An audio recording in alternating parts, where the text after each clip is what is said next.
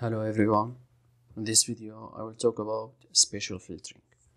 Spatial filtering is the process of modifying an image by replacing the value of each pixel in this image by a function of values of the pixel and, and its neighbors.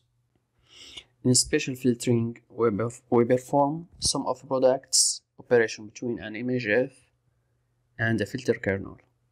This figure uh, shows how to apply spatial filtering using 3x3 kernel. At any point xy in the image, the response gx is the sum of products of the kernel coefficient by the image pixels underneath the kernel.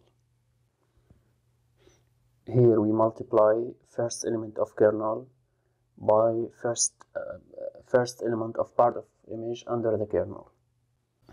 And the second element of kernel by second element of part of, of the image. And so on. This operation called convolution. And we can write it by this expression. Here we assume that m equals 2a plus 1 and n equals 2b plus 1 here there is an important note kernels must be of odd size in both direction. That means m and n must be odd integer numbers. Now let's talk about another thing in spatial filtering. Here we have 3 by 3 kernel and we want to convolve it with the following image. If we apply filter to the first element of the image, the first thing that we notice is that part of the kernel lies outside the image. So the summation in this area is undefined. We can solve this problem by padding the image with zeros in each side.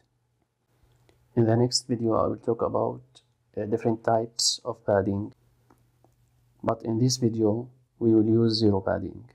In general, for kernel of size m by n, we pad the image with m minus 1 over 2 rows of zeros at the, at the top and bottom and n minus 1 over 2 columns of zeros on the left and the right.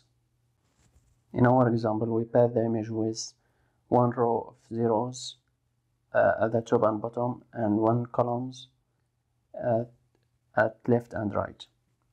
Finally, we get pad image with the size of m plus m minus 1 and n plus n minus 1.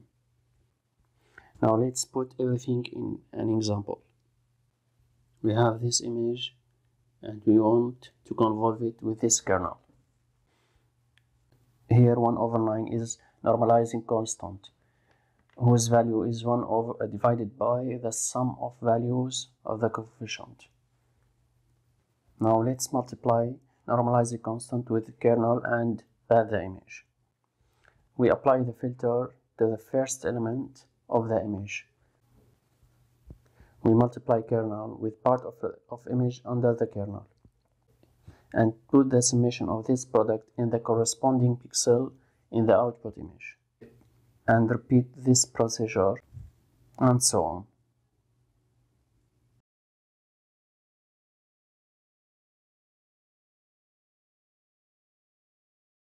The most common in spatial filtering are smoothing filters, which are used to reduce sharpness in the images or with other techniques for image enhancement. We have two kernels for smoothing. First one is box kernel and the other is Gaussian. Here example of box kernel. This kernel is 3 by 3 box filter kernel. This figure shows result of applying box filter with different size. The other kernel is Gaussian, which has the following equation. This figure shows the difference between applying box filter and Gaussian filter. We notice that result of applying Gaussian is smoother around the edges than result of box filter. OpenCV provide us with built-in functions to apply smoothing filters, but as usual, we will build our function our function I will define the class spatial filtering.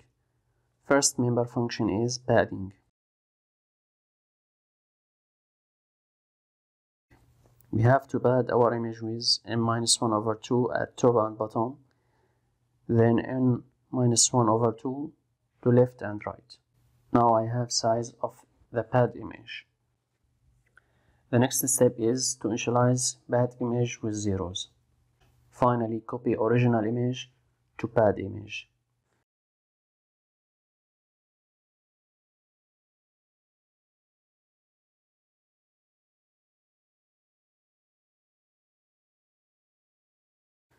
The next member function is define kernel. For box kernel, all elements is 1 over number of elements in the kernel. For Gaussian, we have to use Gaussian equation. Here I assume that k equals 1 and sigma equals 1.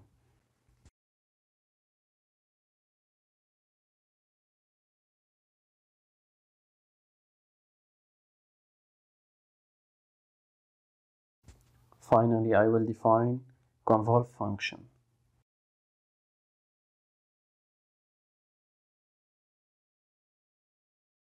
I will initialize output image. Here I have pad image and inside the orange rectangle is the original image. This animation shows the convolutional result.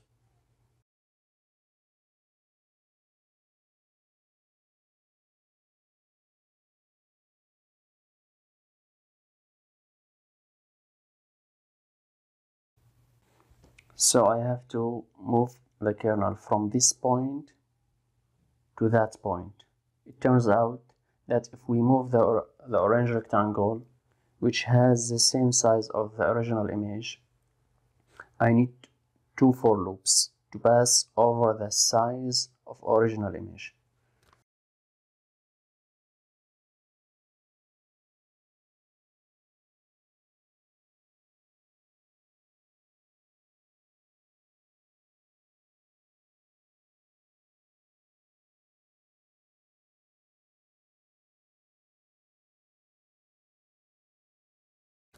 Finally, I will create object from our class and apply spatial filter to the image.